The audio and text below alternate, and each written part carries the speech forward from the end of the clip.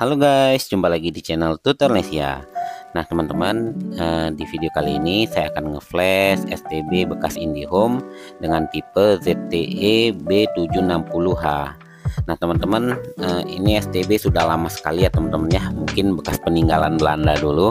Jadi sudah tidak terpakai, makanya saya akan flash. Siapa tahu masih bisa dimanfaatkan.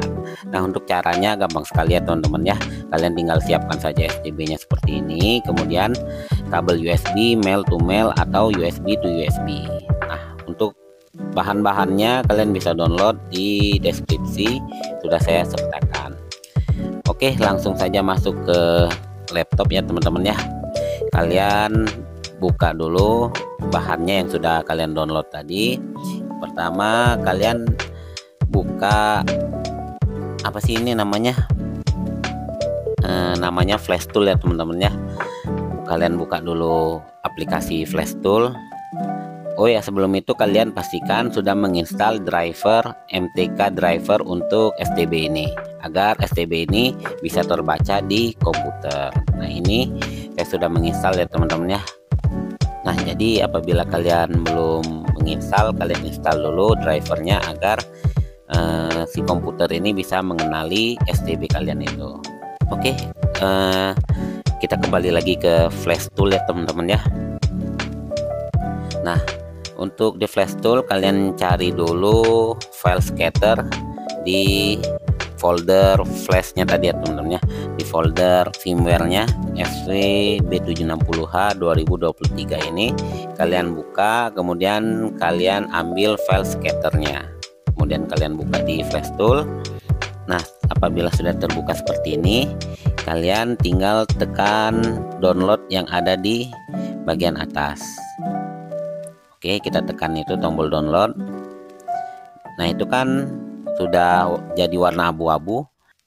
Nah tinggal kalian colokan kabel USB to USB tadi ke STB dan laptopnya.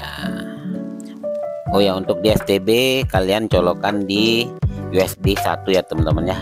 Port USB 1 kemudian posisi tombol power yang ada di STB nya itu dalam posisi off nah ini apabila sudah berhasil nanti akan muncul tanda centang di flash toolnya.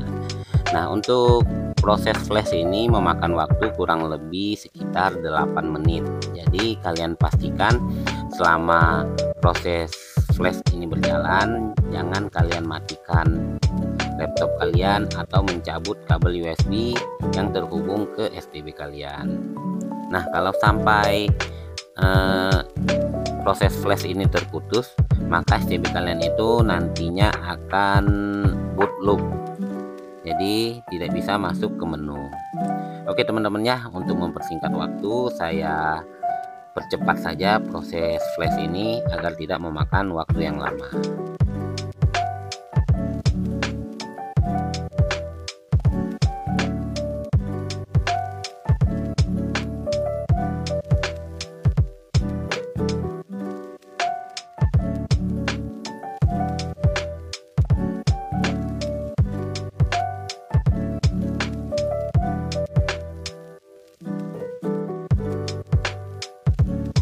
Oke teman-teman ini sudah hampir selesai untuk proses flashnya. Kita tunggu saja sampai ada tanda centang atau notifikasi oke seperti ini. Ini tandanya sudah selesai. Kalian bisa mencabut kabel USB yang terhubung di STB nya oke kita cabut. Kemudian kita hubungkan ke TV ya teman-teman ya. Kita lihat apakah berhasil atau tidak untuk hasil flashnya tadi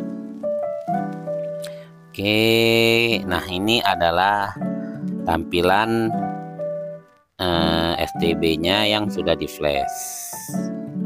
Oke, kita tunggu sampai muncul menu-menu yang ada di dalam STB tadi. Ini bootingnya lumayan lama ya teman-teman ya. Untuk pertama kali memang seperti ini agak lama. Jadi kalian harus sabar saja tunggu. Ya maklumlah STB tua ya teman-teman ya. RAM-nya kalau tidak salah itu cuma 512 MB kemudian internalnya itu cuma 4 GB dan Androidnya juga ini mentok di Android KitKat versi 4.4.2 kalau nggak salah ya teman-teman ya. Nah ini adalah hasil flash kita tadi jadi sudah bisa dipakai teman-teman ya. Tinggal kalian otak-atik saja sendiri. Kalian bisa mendownload aplikasinya melalui Play Store. Kemudian bisa juga melalui browser. Kalian cari aplikasi yang masih kompatibel dengan STB ini.